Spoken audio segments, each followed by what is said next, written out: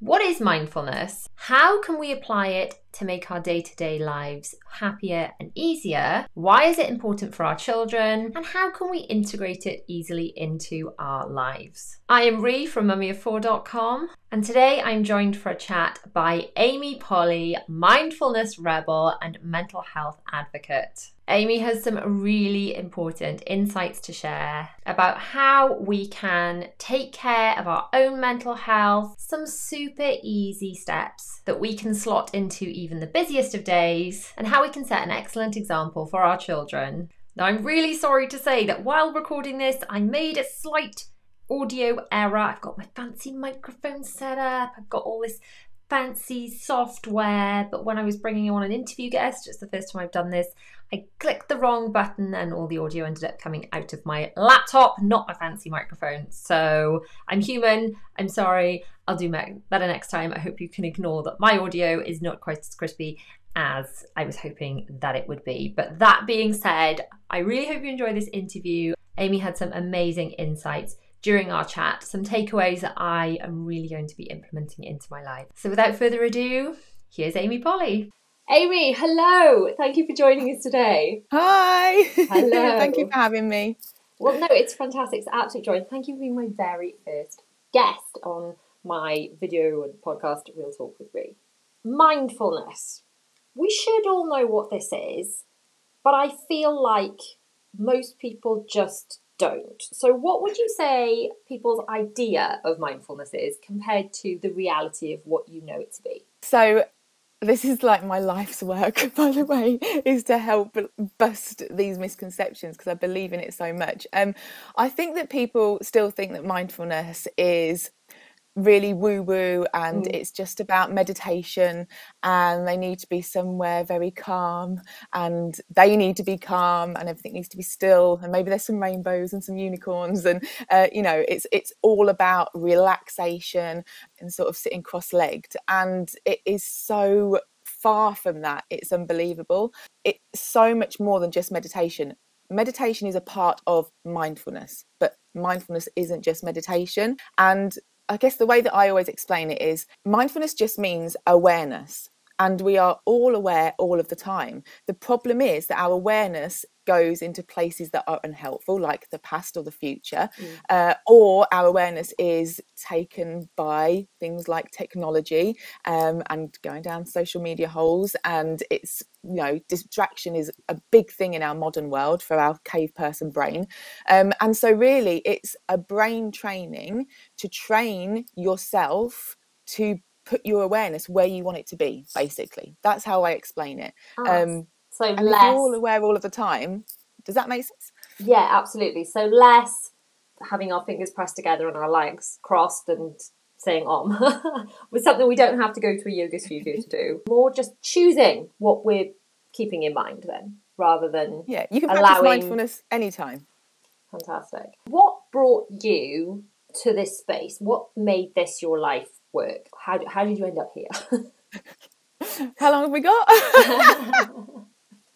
um, so basically, in terms of mindfulness, I found mindfulness when I was going through a period of stress. Um, now, bearing in mind, this is, I always say 10 years ago, but I've been saying that for a little while, so it must be starting to get more than 10 years. Quite often, that's what we do. We turn to things once we get to a point of crisis or nearing crisis and, and, that is what i did. So i was going through a period of stress wasn't in a good relationship at the time uh, my work was quite stressful and i wasn't sleeping very well. And as we do we go on some search engine in the middle of the night and i found the words mindfulness and meditation. And so i looked into it started to practice uh, went on youtube did a couple of meditations and just immediately i noticed the way that I did feel relaxed. I noticed that I was falling asleep a little bit easier. And then a week of practicing that, um, I was sleeping, you know, more soundly. And I, it was just that light bulb moment of there's something in this. I need to know everything. Uh, and that's what I did. So I went and signed up, got some books off Amazon, Amazon signed up to a diploma in mindfulness and meditation, as you do. Um, and yeah, just learnt about it. And over this journey, I've learned more and more that it isn't always inclusive and accessible. It's so much more than meditation. But but that's where it all started for me, helping me to sleep better. And then as it's progressed over the years, it's helped me with so many things. Going through miscarriage, losing my grandparents, um, having my little boy, just like the day to day stresses of the world. I, like I don't know what I would do without my mindfulness practice. Um, and I was an accountant for nearly 20 years. Oh, so wow. this is a huge change for me to now be running my own business. But people have always been my thing. Like I just love people and I love helping people. Um, and when I was given the opportunity within my last role to to work with people more than spreadsheets, I was like, ah, this is my thing. Ah. this is what I want to do. this is your jam. This is your groove really, when you put it like that, it sounds so simple, yet so many of us just don't do it. That's the, the fact of the matter. I think a lot of people, that correct me if I'm wrong, just don't know what it is, don't know what to do, and it seems like a very complicated sort of out of reach thing that other people can do. so, what would you say would be a really good starting point for someone that's looking to explore mindfulness but just doesn't know where to begin, what would be those first steps you could suggest they might take? Yeah, and, and you are right. I, I do think that people think it's complicated and it's like another thing to add to the to do list, but it absolutely isn't. You, like I said, you are aware all of the time. It's not something new to do, it's a different way of doing things. So, what I would say is, as I said before, meditation is a part of mindfulness. And I know people hear the word meditation and think, but it, it doesn't have to be, it's, it's not necessarily spiritual. It doesn't have to be lengthy. It doesn't even have to be in silence.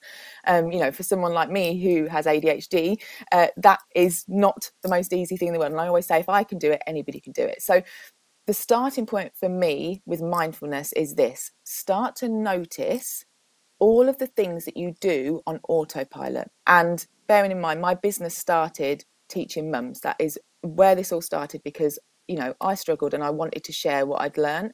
And we do so many things on autopilot. You think about your typical day where you wake up in the morning and you pull the covers over the bed you go and brush your teeth you are popping the kettle on you're you're rushing around maybe to get the kids ready. All of that you're not really paying attention to anything that you're doing. Your mind is on the next thing you need to do getting them out the door what you're going to be doing later the thing that you messed up yesterday. We're not present with what we are doing. And unfortunately that then impacts on us not being present with maybe our partner, our friends, our children, our colleagues. Because um, quite often we're on autopilot when we're speaking to them. Like, how many ch- times has your kid said to you, "Look at this rock," and you're like, "Yeah, yeah, yeah, I'm, I'm trying to do X, Y, and Z." You know, but to them, that's really important thing. So if we can start to be a bit more mindful in those mundane, everyday moments, our brain starts to train itself to be able to choose to do that when we want to do it, which might be when you're interacting with your kids. So start noticing your autopilot. You go away from this podcast, start noticing, and you're thinking, oh my goodness, there's so many things that I do without thinking about it. Um, and then just choose one or two things that you do every day anyway to be more present with. That is mindfulness. So use as many of your senses as possible. And it can be like when you're making the bed, smelling the sheets, good or bad, you know, might have teenagers, uh, but smelling the sheets, uh, you know, really listening to the sounds of the movement, really noticing like the movement in your muscles and your joints. Uh, you might even notice sounds outside. You might be able to notice things that you can uh, taste. Maybe you've just had a coffee or whatever it is. So really using those senses. One of my favorite things is brushing your teeth because you're using all of your senses. You can see yourself, you can smell, you can taste these little things seem so almost ridiculous. Like, how is that going to help me? But that is the starting point. Retraining your ability to pay attention. And that is where it all starts. Does that make sense? Yeah, absolutely. So it's actually um it's like the grounding exercises that I do with my children, isn't it? So when they're stressed out, then you're asking them for something they can see, something they can yep. smell, something. but but just rather than being like, okay, I'm in a point of crisis, I need to do this now in order to calm down, just kind of doing it a bit more exactly proactive yeah before before we reach that point where we're like ooh um, yes. so i think um, i mean you you touched on the um, uh, diagnosis of ADHD. And I think this is something that a lot of women and girls, especially, they're not diagnosed enough. Would you say that's that's right? Yeah, absolutely. And I think a lot of us have kind of tangled mum brain and you know a lot going on and a lot to juggle at what stage was it the mindfulness that kind of made you realize that there may have been adhd at play or did that come what was your kind of story? No, absolutely not. It was actually having my baby was the catalyst for my diagnosis. Um, yeah, when When I was on uh, BBC, did an awareness piece, which was really nice. They contacted me to talk about it because I don't think it's talked about very much the link between hormones um, and how that can really affect your ADHD symptoms. So throughout my life, we have to remember that you, the way that you are um, brought up, be that the education system that you're in, the type of school that you're in, the teachers you have, your family, your friends, that environment can, environment can really impact how it presents for you. And you know, I feel very fortunate that I had a very close family. Um, my mum, I always say, look, I don't know what I would do, would do without my mum. She's been very supportive. At the time, I probably thought my school was crap, but in hindsight, my school was all right, you know. Um, and so I think that throughout life, I managed my symptoms because number one, I didn't know I was different to anybody else. I thought everybody else was struggling the way that I was struggling. Like, you know, I didn't know I was any I was any different. And also, you know, we know that. Uh, females mask easier. We often don't have so much hyperactivity, um, and so it doesn't always get spotted. Like my grades were okay. When you're not a problem to other people, when things are externally an issue, it's less likely to be noticed. And so I just cracked on. Like I got support when I needed it, and I was okay. And I think that sort of happens throughout my life, and even in work. You know, when I look back and see the struggles that I had in my accountancy career, um, some of the things that I did last minute, the way that I studied and passed my exams and stuff like that, um, obviously I didn't know any different, but uh, I just got on with it because I only really had me to look after. When I had my baby, it was a whole different ball game, and I think in that situation, the hormones had an effect. I think the fact that you've got somebody else to look after had a real big impact because it's not just you anymore that you've got to look after there's there's somebody else to look after and even my mum said she was shocked at how i didn't manage considering i've always wanted a baby and i was so excited and blah blah, blah. and it manifested as postnatal anxiety and i really really struggled and um, it was in conversation with my gp because i just knew that I was not okay. And I could not articulate exactly why that was, but it was that sort of inner knowing that something's not right here. My, my, thoughts were racing much more. My mindfulness practice felt very difficult. Um, and so, yeah, having my baby was the catalyst because I just knew that something wasn't wasn't right. Um, and I guess I just couldn't mask any anymore. So, yeah, that's where it all came from when I was 37. Wow. oh, wow. So I guess you were quite lucky in a way that you'd already established a lot of these mindfulness things that were sort of mm. strategies to accidentally help with yeah. what you didn't realize was a problem. Yeah, and I guess the thing is, you know, and I've said this all along that, uh, you know, even before I knew that I had ADHD, I knew I had a busy mind. I knew that I was not inherently a calm person, um, but I could still practice mindfulness because mindfulness isn't just about being able to sit still. In fact, you don't have to sit still to practice mindfulness. Uh, a lot of time, people don't realize that when they're going to the gym or they're going on a walk or a run, that actually that is a very mindful practice. Um, you don't have to be sitting still in silence for 20 minutes. So I just found what worked for me, and I guess that's why I love teaching so much because I know that I'm a little bit different. Like when I go into schools in my Disney tracksuit, and I'm, I'm sort of hi everyone. You know, they did probably expect. I know you'd love it. Yeah, you need that tracksuit. Um, you know, you'd expect uh, maybe a mindfulness teacher to come in and be and be very calm, and I, am just not. I'm just not like that. Um, and I think I hope that that makes it um, a little bit easier for people to learn. It makes it um, you know a bit more human centric and a a bit more accessible for people. That's what I want it to be inclusive. And so I just found my own way. I guess I'm a little bit stubborn in a way, and I did hyper focus on learning all about mindfulness. So um, I just found my way, and it's really worked. So I want to help other people to find their way. It doesn't have to be my way, but to find their way. Does that make fantastic? Yeah, fantastic. From the the ADHD point of view, if there's anyone listening that thinks, "Oh, I wonder if if that's that's me. What would you say were some kind of traits that perhaps you didn't realize were connected, but were kind of with now you can see, oh, well that that's ADHD, and then perhaps someone listening might think, well, maybe it's worth me exploring this further. What would you, which kind of yeah? Um, so obviously uh, I am not in any way a psychiatrist, so I would not be able to, you know, no, diagnose no, just anyone. From your personal um, experience. Yeah. Your... Uh, so I would always say for people to go and, and definitely have that talk. And I know not all GPs are as good as mine. I was very, very lucky. So, but but be persistent. If you need help whatever it is not not just the adhd mental health whatever it is if you need help unfortunately in this world we have to be persistent and that can sometimes feel difficult. You know why should i have to fight for help? But unfortunately this is where we're at. Um, you know mm. systems aren't always working. So just make sure that if you do feel like you need help you know you, you keep going. So um, i think some of the traits for me that i've come to realize and by the way it took me well over a year of processing before i started to talk about it uh, oh, wow. Uh, really openly because and i guess that is part of my mindfulness practice that self-awareness and being able to process things and look after myself but i really realized that my emotional dysregulation has really impacted my relationships so uh, having quite big emotions where people would think that that is ridiculous. Um, you know, uh, I struggle to articulate myself if I am emotional. Um, so my partner now, bless his heart, really is starting to understand that. So he knows that if it's an emotional situation, we can actually take a pause, and then I'll be able to talk about it at another time or later or whatever because uh, i really find that difficult. And sometimes my emotions will come out for example if i'm feeling anxious or upset it actually comes out as anger and i'm not angry he's been, he's been so good recently at, at exploring that. So um, that was a really big realization for me because i know that i'm very self-aware but some of those things you just can't control. So you have to be able to, to create the gap which is one of the parts of mindfulness is create that gap to then respond rather than react, which is so useful when you've got ADHD. Other things like um, you know just being very sensitive to rejection that really cuts deep and and my empathy really helps me with my job but my mum even said to me the day when we were watching some hospital program oh you've got too much empathy and i said but that is really good for my job but things cut me deep you know mm. even when i'm watching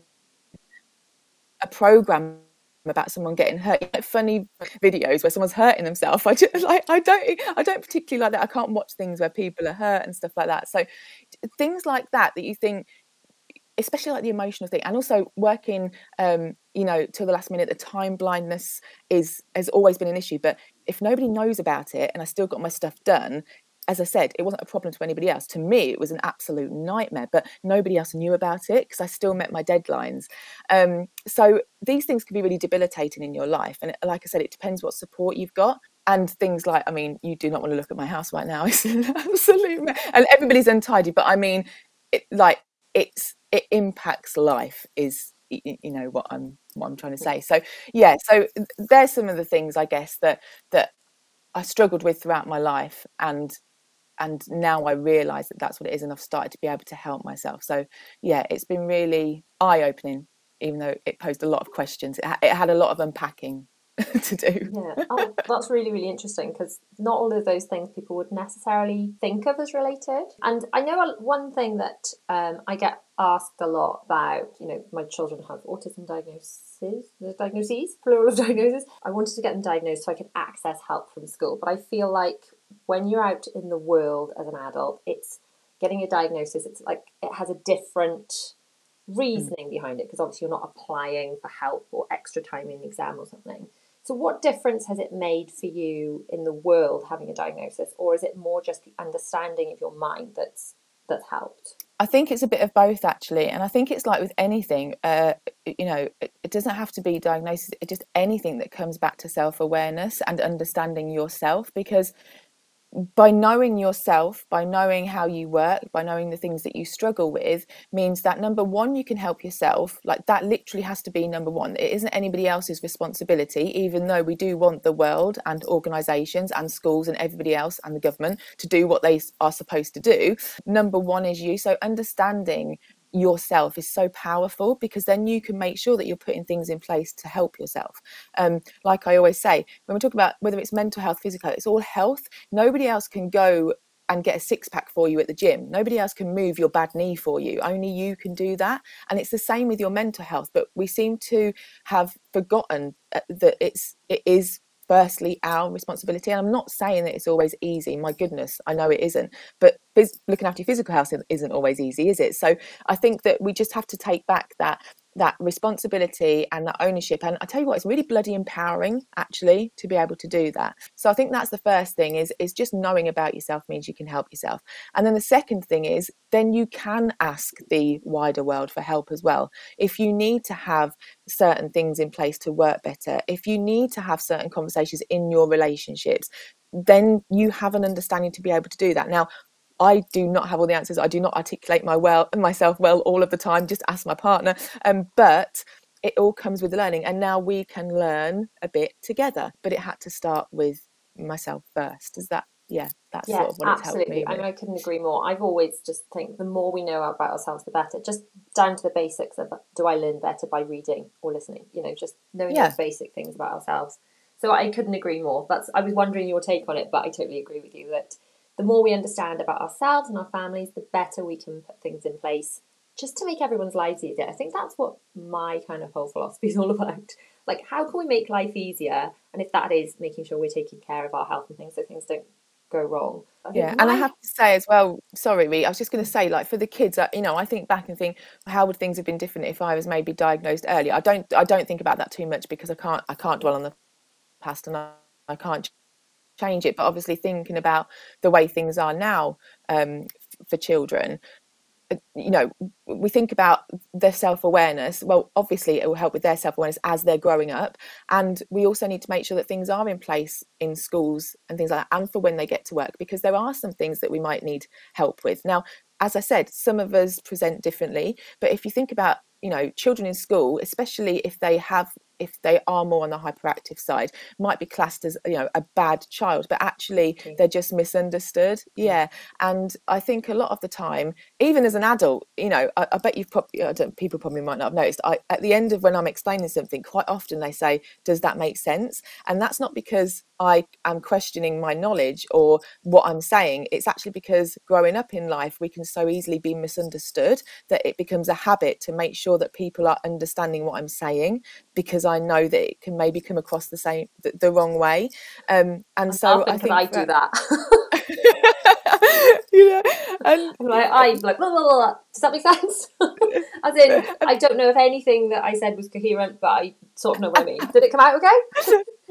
you, my brain's working so quickly, it like, and did, did that all come out of my mouth? How it sounded in my head? Um, but yeah, so I think it's important as well for for kids to get the support that they need. And I know that it's difficult in schools. There's so many children in classrooms and stuff like that. But you, you can look now at some of um, the adults that are being diagnosed and look back at their school reports and and see how obvious it looked. Like you know, when you're a child, you sometimes struggle with that self awareness anyway. And then to be told that you're being naughty when you can't understand, I'm not being naughty. You, you know, you Mm, you are, do not think that you're being naughty. You're just yeah, you're just being. So there's still, I think there's still a lot of um, a lot of learning to do. But I think that the tides are turning. I, I really do hope you're right. I mean, my absolute hope, I've, I've said this for a long time, is that by the time my children are older, that looking after your mental health is as normal, in inverted commas, as looking after your physical health. And that Yeah. it's there's no stigma to it. Um, and I, I have high hopes for it because the children are coming home saying, we had an assembly on mindfulness and things, which never would have happened when I was in school. That No. like, mindful what? And I didn't know anyone. I think the only people who'd been diagnosed with anything would have been dyslexia. You know, there was a bit of that, but I don't think there was as much awareness. So, how, where do you see the, you us as a nation in ten years? Do you think that we're going in the right direction with all of this? Have we got hope for our children, or are, are they going to be all right? Do you know what? I, I usually get a bit ranty about the government if I'm if I'm uh, left for too, for too long, but, so- but I won't. What I will say is that I think there are a lot of amazing people that are moving into the right places to be able to make change, and we all have to have hope in that.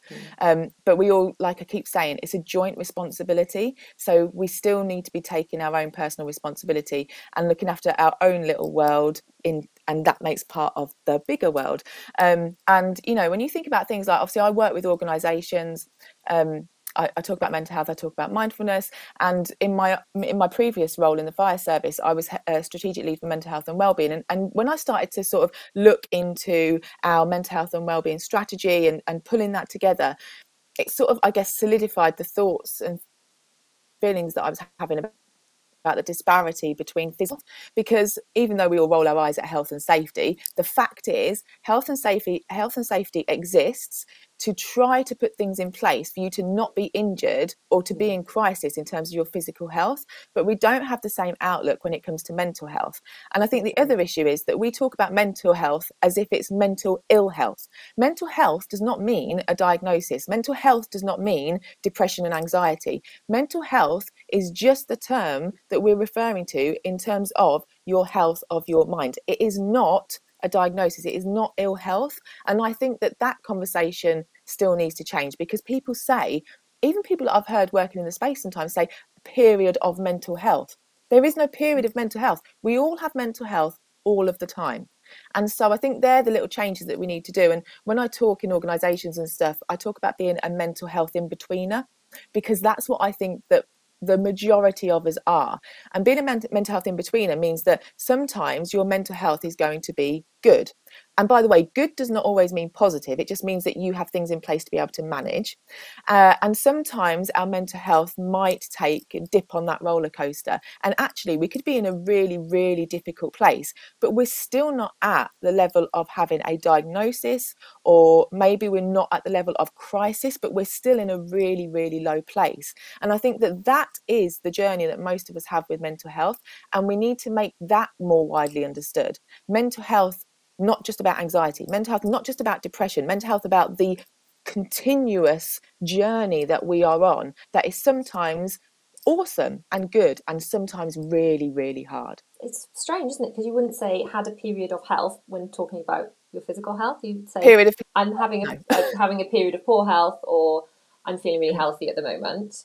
You wouldn't just say I had I had health. it was just it's a bizarre yeah it's bizarre this this this massive disconnect i think the, the kind of vibe i'm getting is that we can't we can't rely on and like we can't rely on other people. We've all got we've got to take responsibility for our own lives and our own children. So in doing so we're going to take responsibility for for encouraging positive practices in our children. For, for example i do before the children go to bed i ask them what was the best thing that happened that day and then they think oh well this was quite good this was quite good and they've got to pick the best one, and that forces me to do it as well. And I feel like by um, making it something I'm doing with them, I remember to do it because it's for them. And sometimes it's hard as mums to do things for ourselves. So what can we do with our children and for our children that will also benefit us as mums?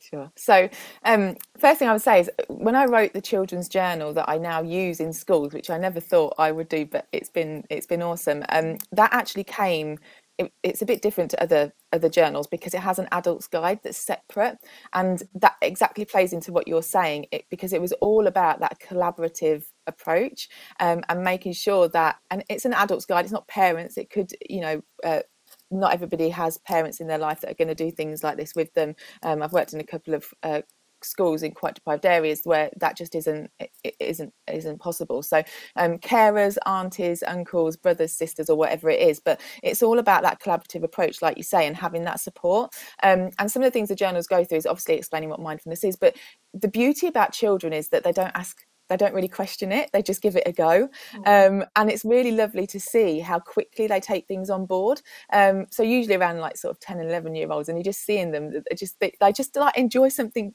doing something a bit different so um, some of the things in the journal you know asking them how they're feeling or asking them what went well today, um, just so that they start to get into the habit of being able to recognize how they're feeling mm. and articulate how they're feeling and maybe what played into that. And then obviously this also helps with your communication and you learning maybe about your children.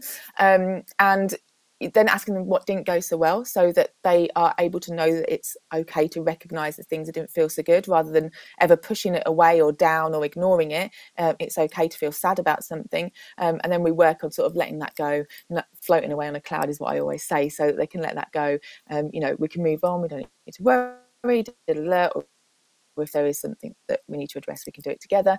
Um, and then we practice the mindfulness together. So, like you said, you practice your gratitude together. You can just do a simple breathing exercise. That's what I do with my four-year-old. You know, he uh, he's four, going on like fourteen, but uh, you know, he's so small, and he just took to that really quickly. We do little breathing techniques with a swirl on our hand in the moment. Um, and when I sit with him and we do some a little breathing meditation together, and quite often I say to him, "What is mindfulness?" and he'll he'll tell me. So I'm really with you on that sort of collaborative approach, trying to get to do it together.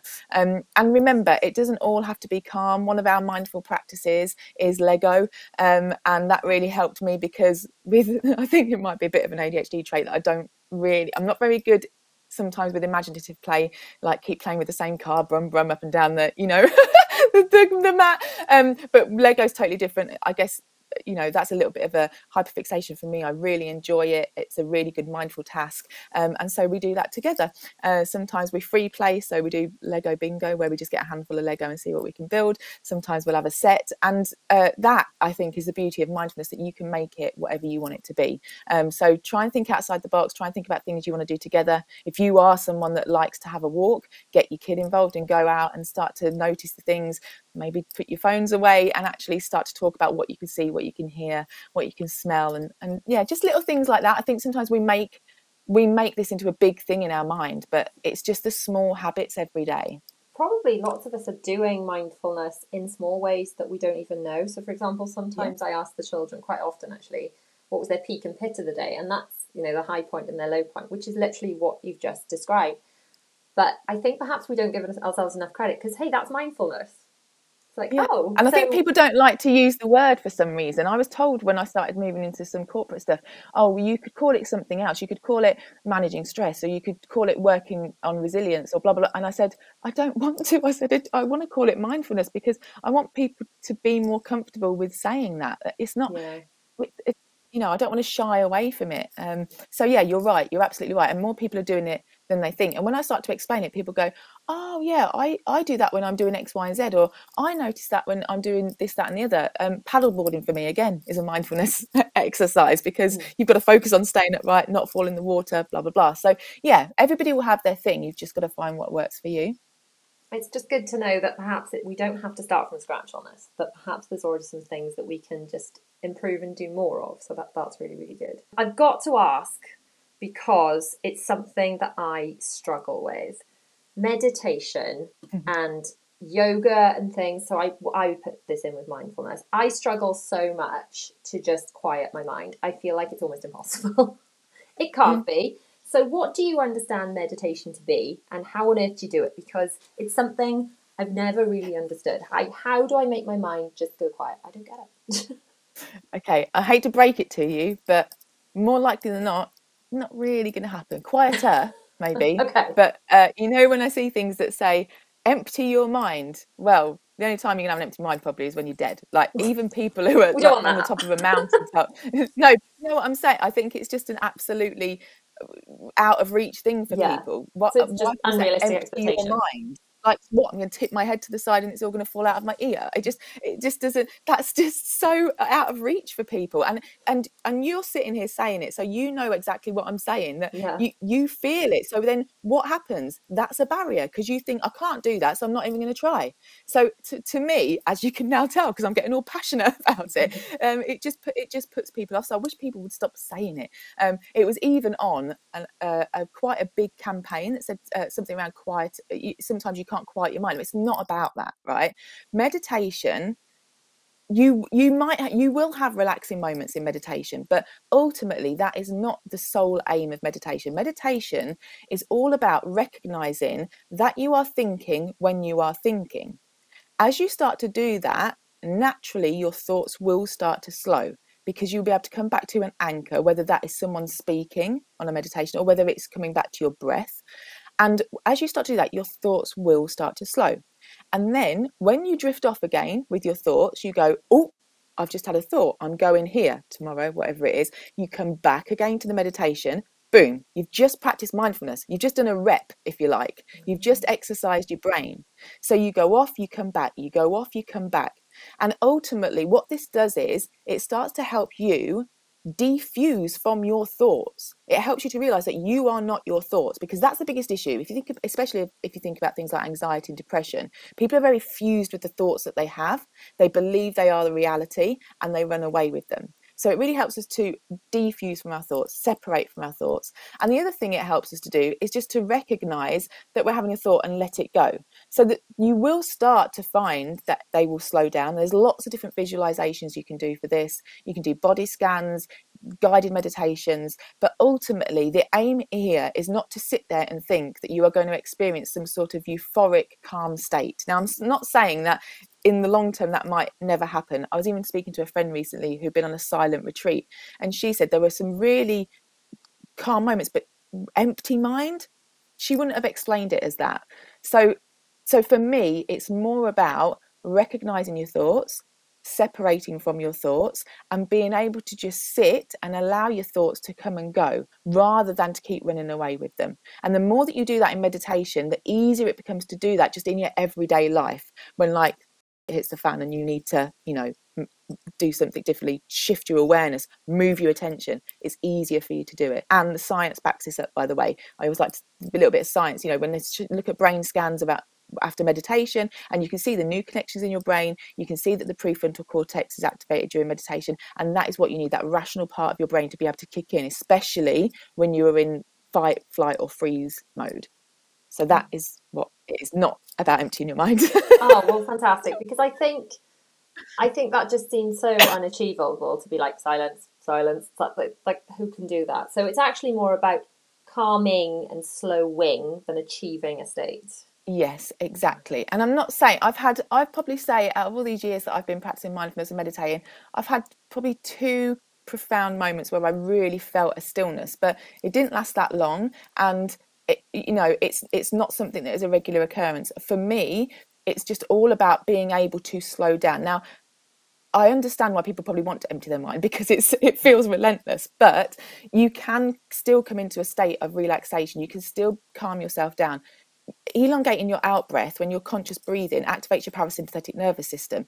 It helps you to calm. Like physiologically you can do that but i just think emptying your mind and quieting your mind are terms that need to be like chucked in the bin um, and people need to understand that that is not what it's all about. Um, so yeah don't start if, with 20 minutes silent meditation.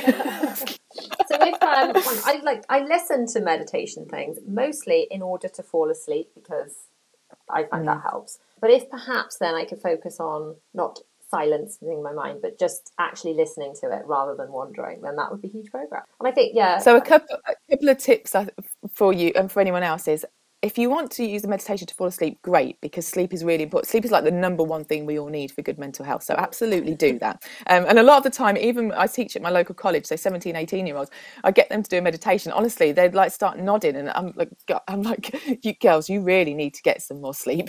Um, but that's what happens often because we don't slow down enough. We don't slow down enough. And there is research as well to show that actually meditation can give us a deeper rest than sleep. So wow. meditation is really important. Even though you feel like your mind hasn't been empty, you are still absolutely resting and calming your nervous system. Um, and if you want to use it to go to sleep, absolutely fine. But what I would say is if you would like to experience meditation and not fall asleep, actually sit up. Don't do it in bed. Maybe choose before you go to bed to sit up and, you know, things like just not having your back on the seat because you might still start to doze off. Just little adjustments like that if you would like to listen to a meditation. Um, and don't make them too long either because otherwise, again, you might drift off to sleep. Start with something a bit shorter um, so you start to get a feel for it and you start to experience it because the, the more you do it, the easier it becomes.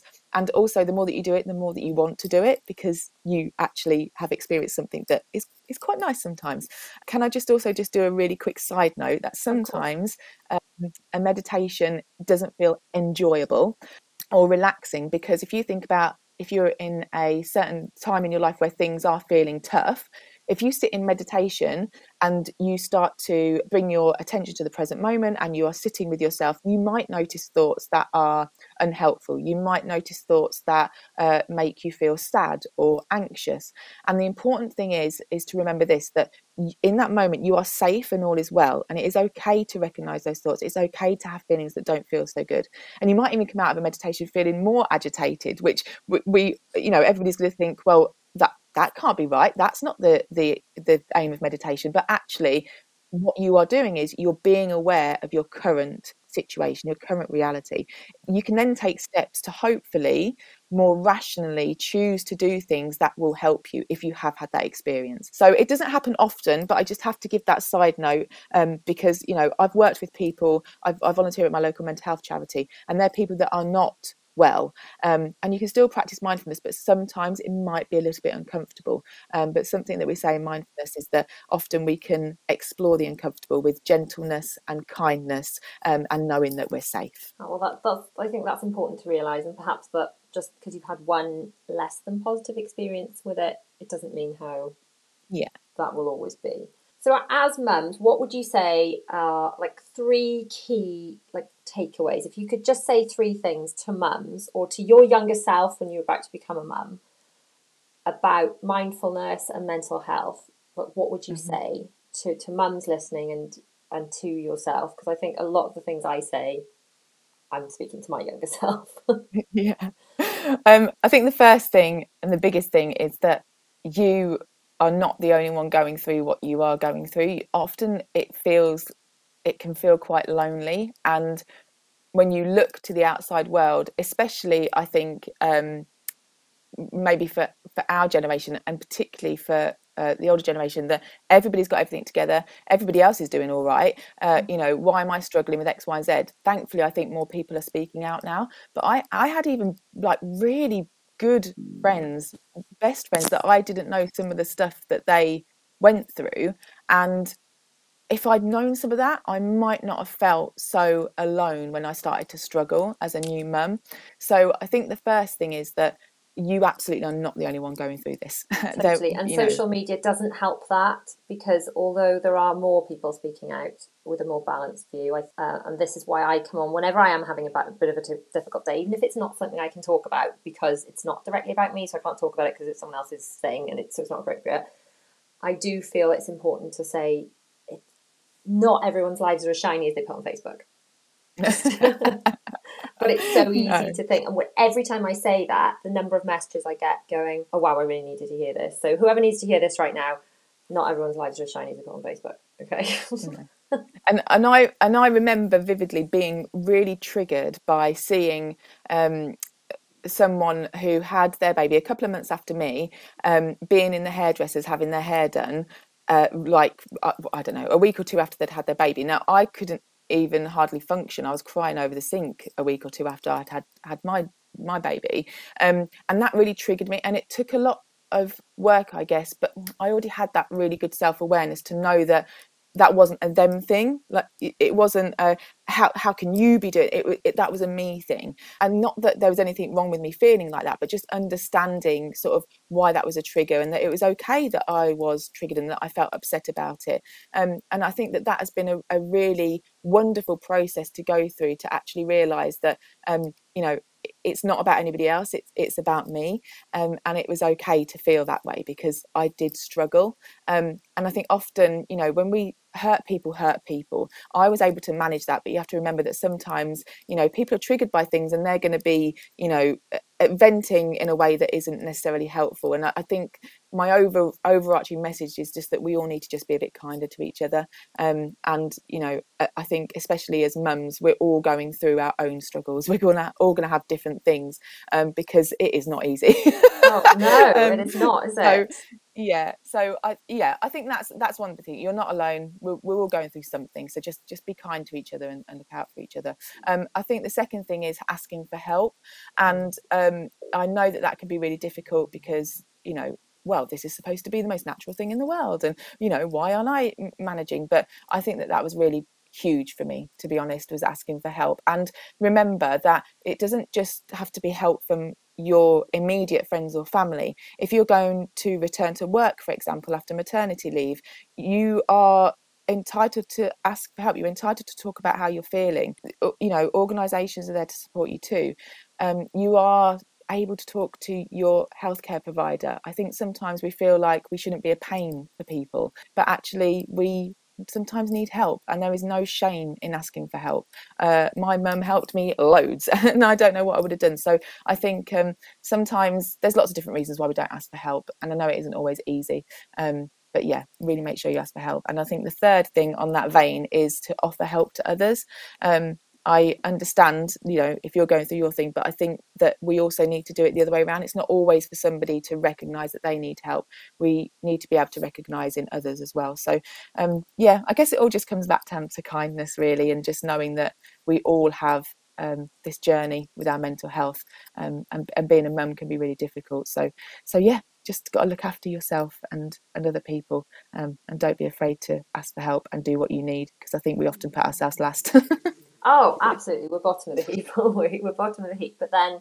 I'm, I keep coming back to this more and more to remind myself more than anything about if I don't put on my own oxygen mask first, then everyone else is I'll pass out and I can't help anyone else, and you can't pour from an empty yeah. cup, and all these cliches. And we are but, an individual as well. yeah, exactly, exactly. It's so it's so difficult to remind ourselves off that, but it's absolutely so important for for the sake of everybody that we come into contact with. So thank you so much. This has been an amazing chat.